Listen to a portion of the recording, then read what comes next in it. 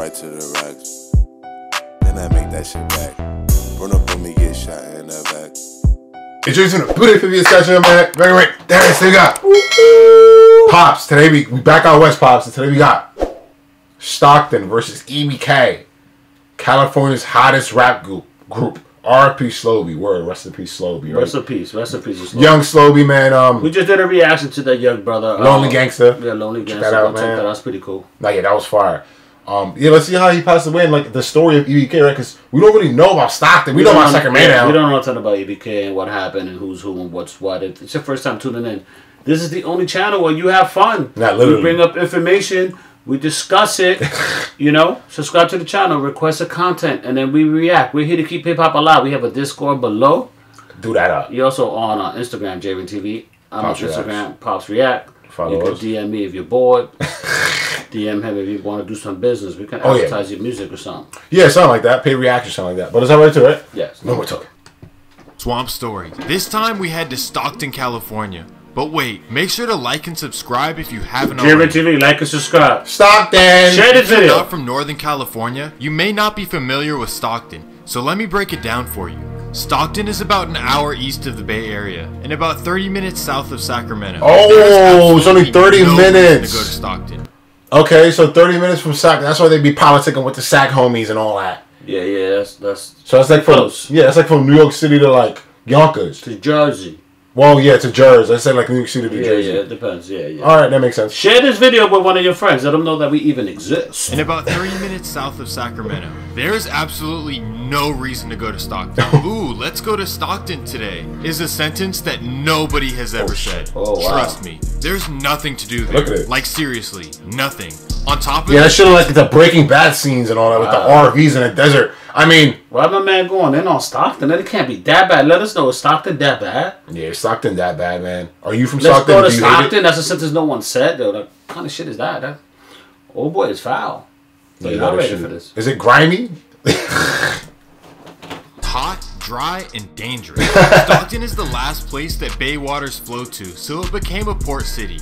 It's surrounded by farms, so the city grew because ships would come pick up the produce, then bring it down the river to the Bay Area. Mm. Times have changed though, and humans have evolved, so Stockton doesn't really have an industry anymore. Oh, wow. It's actually the largest city in American history to file for bankruptcy protection. In 2012, the city went completely It's the largest city to go bankrupt. How big is the city then? Because a city has never. You know any cities that went bankrupt? Is that ever even a thing? I heard of towns going bankrupt, but not an entire freaking city. Imagine New York City getting. Hold up! Wait a minute! Well, a lot of these these West Coast and a lot of these other cities about to go bankrupt. They keep playing with all these robberies. You know, Targets. People are leave, people. Targets is leaving Chicago and a lot of inner cities because they're stealing stuff and they can't do nothing about it. Yeah, because they're not allowed. Because uh, Target got like a policy where they let you steal up to a thousand dollars worth of stuff. They don't call. They have a no. Don't call the cop policy. In New York City, you can steal up to like five hundred. I think. Or We're not not, we're not condoning Yeah. to, to go steal money. It's So just, go in these go in these places and steal. Fuck it. hurry up and buy. From Jayren TV and Pops. Hurry up and buy. Bankrupt and couldn't even pay its employees until they got saved by the federal government. Wow. It was bad. Not to mention that Stockton has the highest foreclosure rate in the US. Let's say you come home from work, your house has been burglarized, and you find the front door open, but the house is safe, it's been ransacked. Uh, there's a good chance that you won't get a uniformed officer at that call. Oh my. While the fight goes on, the people of Stockton continue to struggle. More and more people are showing up for food giveaway programs and free meals. Even though their economy has been bad for a while now, Stockton is one of the fastest growing cities in the country. Mm. Wait, wait, wait. So you mean to tell me that people are moving to this city where there's no jobs, a bad economy, and no attractions? Why? Yes, that's exactly what has happened. The Bay Area has gotten more and more expensive over the last 20 Yeah. years, which has caused gentrification. All these lower income families have been Yeah, that is true. Like Stockton. San Francisco's getting more expensive than like New York City at this point. I think it's bad. Like it's Uh, No, bad. It's way bro. more expensive. San Francisco has the highest rent. Yeah, is it, did we watch Last Chance U together? Mm-hmm. And we were, they were explaining how like the bay's so bad. Like Yeah, and last time we was talking about that. Also, yeah, when they covered San it. Francisco, the property has dropped because Really? like the average was like I read an article yesterday, one point six million dollars per home or something. Now it's like one point three. It's like the biggest drop, Wow. like a twenty five percent drop or something. So what's gonna happen? Like, are people gonna just move to these cities and they? people with money, like so, what happens is you have people who have money who come from affluent families, Yeah. and they'll buy apartments or rent them out. And it's half the time they don't even live there. Mm-hmm. You know what I'm saying? So they take up space. They buy these condos and they're empty. But is that many people who can afford million dollar condos? A lot of people got a lot of money, man. Yeah, like- There's a lot of old Money. money. like that old slavery money. True though. you know what I mean? Your parents are wealthy because they had that old 400 years of free labor. Wow. many years, which has caused gentrification. All these lower income families have been pushed out to Stockton. Mm. Just like Antioch, Stockton is filled with people from East Oakland, Hunters Point, Richmond, East Palo Alto, and more gentrified neighborhoods. When they moved to Stockton, they realized Wow. So everybody's leaving because they said that niggas from Oakland, well, more LA, went to Sacramento and the Bay too. Dudes from the Bay went to Sacramento. Now people are moving to yo. So everybody left, right? So how is it, guys? Like, how many family members you got from out of the Bay who left? Like, are did you leave the Bay yet? Have you left? I know people. A lot of people going to Arizona. A lot of people going to Texas, People Vegas. getting out of town. I would personally, I'll probably do AZ or maybe Texas because I don't know about like Vegas and all that. But I would do Texas. yeah, right. Yeah. Unlike in the Bay, where you associate with whatever block you're from, in Stockton, it's more about who you roll J-Bo, with Mad rather City. than where you're from. That being said, it's still different than other cities like Antioch and Fairfield that had no crime before the Bay Area gentrification. Stockton had already established their streets before the Bay Area people started moving in. That's what makes Stockton so crazy. Mm. There are so many sides to it, I can't cover it all in one video. That brings me to the hottest group of rappers in Northern California. We're going to talk about who they are, who their rivals Ja. are, and why they split up. But before we do that, let me run the They intro. Let me introduce you to the EBK Hot Boys. These guys have completely taken over the rap scene. EBK stands for Everybody Kill Us. They're a rap and street group that is centered in Southeast Stockton, mm. specifically 2100 Nightingale Avenue. Yeah, I broke it down. I like broke down the code. I was like, so Lonely Gangsta, he mentions 2 1. Slo-Be mentions 2 1. And I was like a fucking build a science guy. Build another science guy. So they say 2 1, 2 1, because 2100 is their block. I'm fucking smart, man. What do they say? Nightingale. Nightingale. Night. You Let said Gale. know. I think it's Dale. I think it's Nightingale. Okay. My bad, Pops. centered in southeast Stockton, specifically 2100 Nightingale Avenue. Although Wrong. they claim to just be a rap group, Stockton PD classified EBK as a gang in 2018. Hmm. They also call themselves 2100 or Nightingale. Even though they recently formed, Stockton police say that they have become one of the most active groups in the 209. Let's talk about their rappers. EBK Young Joc is blowing up like crazy right now. His music is hard and he reps 2100 in it. That being said, no one knows exactly where he's from. In one interview, he said he's from Nightingale. In his next interview, he said he was from East Oakland. And then in his latest interview, he said he never lived around Nightingale, but lived in another part of Stockton called Weston Ranch. So let's just say he's from California. Yeah, we gotta do more Joc. We gotta do him by himself. Y'all been spamming that like they when most of the We more haven't young gotten to Joc. the young man because that was like Because we did one of his songs with the collab with him, Briss Slo-Be. Remember that? not a collab? dolo, not a dolo. He killed that. So we gotta do him with. He got a song with Briss. We gotta do. He got a song, another solo that his biggest song. We gotta do. We gotta do him. Yeah, hit us up, Nightingale. Yo, DM us and tell us what song we should do. Yeah, two hundred nine. another part of Stockton called Weston Ranch. So let's just say he's from California to be safe. John said that he grew up with both parents in the home, but when his brother tragically passed away, he turned to the oh, streets. Oh, wow. He spent a good amount of time in juvenile before getting out and starting to rap. You can see what type of time he's on when you look in his eyes. Pause. Then you have Marcus Peters. I mean, Marcus Peters. I mean, E EBK J-Bo. He's the youngest of the group. The 17 year old is from Nightingale. He grew up with both parents as well, but he turned to the streets when tragedy hit. January 4th, 2015. J-Bo and his siblings were just kids playing at the park. J-Bo was only 10 years old. Look at Jabo. Look at that. With the glasses. When he was innocent, right? This is when he when was innocent.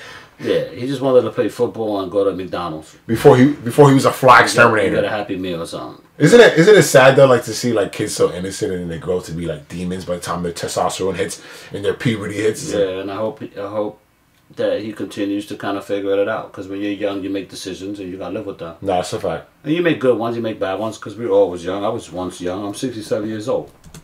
J-Bo and his siblings were just kids playing at the park. J-Bo was Uh-huh. only 10 years old. That's when two teenagers, Lester Hands and Teddy Mahan, whip out on them and take their belongings. The teens were on a weekend pass out of juvenile hall when they decided to do this. Later that day, J-Bo's father, who went by Rari, did his job as a father and went to go confront the teens who just stole from his No. children. That's when Lester Hands would whip out and take his life. Wow, that sucks. Wow. Jabo's dad was popular, well liked, and always regarded as a great father. This tragedy caused Jabo to jump off the porch at a young age. He actually spent the past couple years in juvenile hall. When he dropped his hit song Don Dada in 2018, he was only 15 years old. You probably know this song from the Hoff Twins documentary. Then you have young Slo-Be, who's from Nightingale as well. Slo-Be. He also spent some time growing up in San Diego. He's on Oh, his wow. come up too, and his flow is crazy. It's only a matter of time before LA rappers start copying it. I'm just kidding. Look in his eyes though. I promise you, he's not someone you want to mess with. Let's talk about Stockton real quick. Stockton is notorious for gang activity, and that's why you'll find it on the top 10 most dangerous cities list every year. There are 70 of them to be exact, but in this video, we're just gonna talk about EBK 70 and their rivals. Their first rival is called 44G in North Stockton. 44G, so that's the first game. Damn, so Slo-Be was an older bro from the block or whatever, and he spent spent some time in San Diego. Mm. Yo, California's so big because you could leave your little city, your little bubble, whatever, and get away from the hood. Like you could just go to San Diego and be like, all right, they're not I'm done catching me down shit. here. I'm done with that shit. Isn't that crazy? And I always know like a lot of people do that, but some people really loyal to their hood. man. Yeah, they don't want to, and that's all they know, I'm, bro. I'm 67. I go back to my old hood. It's still dudes out there like, yo, I my block, you heard? 161, you heard? That's crazy. Sheesh. operate out of the apartment complexes on 4400 Townhome Drive. These guys are big in numbers and have been very active in the past. They throw up fours, that's why you can see J-Bo crack fours in his music Oh, okay. videos. EBK's other rival is in North Stockton as well. They're called NGSC, and these guys roll deep. You remember that guy Jeremy! Meeks who got famous for his mugshot? Well, he was a member of this gang, and he was known for putting in work. Wow, yeah, that guy went These viral because he's like a model, like pretty boy vibe, whatever, for his mugshot. So he's from Stockton. That's crazy. I didn't even know that. And he he signed the model deal after that. You know, like, he got he did? big. Yeah, he got big after Oh, that. wow. Good for him. So, but who are they? Like, they don't have no rappers from that block because I don't know anybody from who's. And, and what does NGSC stand for? Yeah, I don't think he explained that. took a huge blow after Stockton police dismantled them. Really? CBS 13's Oh, they Mason got Jenkins indicted as is squad. live from Stockton with details. Macy, pretty guy. Well, Sharon and Tony's police chief Eric Jones calls this a 360 approach to cutting down on gang activity. He says after countless hours of police work, the streets of Stockton are safer tonight. Mm-hmm. 23 people are behind bars tonight for possession of narcotics, conspiracy, theft, promoting gang activity. Yeah. The list goes on. Yeah, And whenever I feel like whenever more there's conspiracy, there has to be a rat, right? It's a race. Whoever snitched first got the least time. that shit is literally a race. Yo, like I, conspiracy. I never. We always discuss that how like that's some bullshit, right? What conspiracy is like. Mm-hmm. What is it like? It's like. I don't like that conspiracy shit. Yeah. They don't really got nothing on you. They just anticipate you can maybe talk about doing something and then it's like, oh, we got you on conspiracy Yeah. to do something. That's wild. What? It's not like it's a threat. 60 felony charges. This was an outstanding operation to dismantle EJ. violent uh, gang in Stockton. The operation came to a head on Wednesday after a round of raids throughout the city. And all I heard is boom, police, police. This man says officers rushed into his home early in the morning. In general, you never really know what's behind the music. Yeah, Some rappers lie about a lifestyle and no one really knows if they're from that or not. For example, the Migos have done this for over 10 years and people still haven't figured it out. EBK is That's not. though. You're, They yo, he don't know what that he's talking about, bro. That's not true. Shout out his All favorite group. set. That's his favorite group. Offset has like Niggas is fake. RP takeoff. Offset has like 20 mugshots, bro, and he was locked up a lot when the Versace Versace he wasn't even there. It was just I know a couple gangsters who got no mugshots because they don't get locked up. Oh, so you don't know. Right. Wow, that's a deep one. work they put in and the street life they grew up in. Let me give you an example. They were on a mission to eliminate their Northside Stockton rivals in 2019. May 1st, 2019, EBK members would drive up to their rival territory in North Stockton. That's where they'd find 34 year old Ronald Celestine. Oh, man. they would hop out of the car and take his life. Wow. EBK wasn't done though. Four days later, Ronald's family would host a candlelight in the same area he died. Those same EBK members would drive up to North Stockton again, and they would completely air it Nah. out. They hit five people and Nah, that's demonic. That's like some next level. At the candlelight, that the nigga, y'all, y'all man's already killed somebody. Y'all go back and spin that shit again. That's next level hatred. Like that's just like Wow. you guys got it at that point. Like I'm, I'm a Wow, I'm a lost words. Yeah. I'm a lost at word. Wow, wow, wow, wow. Celestine's cousin Benny Lott would pass away. Stockton police cousin died are and he giving us died. some more information on the victims tonight, saying that five people were shot here tonight. Two of them women, three of them men, and two of those men are in critical condition at an area hospital. Now we spoke with Stockton police officer Joseph Silva just moments ago. This area has been hit hard. And officers say, given what's No happened shit, here, right. they're definitely going to have a couple more patrol officers. like Jared. out in Look at this low budget ass. You look like Jared, the subway guy. He forgot to button his shirt all the way to the top, looking all sloppy. Yeah. on, man. Nah, he looks crazy. this Come is on, some man. low budget news station. Come but on, man. You should have a tie on and all that, yo. You know what's funny? I'm about to say you, you always tell me this too. Like they know who did it, especially in a smaller city like Everybody this. know who know who did it. Yeah. But if they really scary dudes, ain't nobody talking. Yeah. watchful eye, and of course, this investigation. These dudes are scary. is They're expected going around doing that. hours. EBK wasn't ready to call it quits just yet. Two days later, they would pull back up to North Stockton and find two rivals on the same Oh block. God. They would hop out and dump off on both of them. Both would survive though. For a while, they thought they'd get away with it, but it would all come crashing down on June 20th, 2019. Nine EBK members would go down for it, but only three of them were responsible for the bodies. Brian Norman, Raymona Yo. Gaines, and Charles Prince would go Nah, down. Nah, these are burnt out. Yo, y'all got some burnt out people in Stockton, boy. Y'all, y'all look crazy. Yeah, Ramona looked like she been through a lot. So Ramona looked like her name was Raymond Right. before. Like, wow. but I don't know, man. Y'all need to like get it together, man. Get it together. Senseless violence, bro. They they look like they're in the bottom of the bottom, right? They look Yeah, like, crazy. the way this dude make a Stockton seem is like we ain't never going to Stockton. Well, it's quiet. I'm good. Quiet. Grimy. Norman, Raymona Gaines, and Charles Prince would go down for that. As the group would get more and more popular, things would fall apart.